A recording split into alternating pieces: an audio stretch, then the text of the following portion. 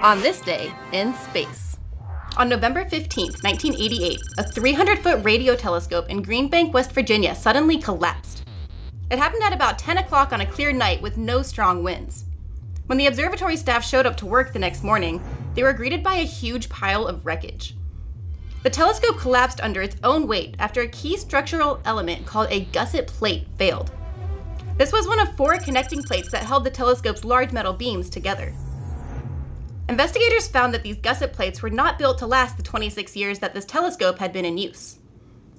Three years later, construction began on a new telescope. The Green Bank telescope was even bigger and more sensitive, and it began science operations in 2001. And that's what happened on this day in space.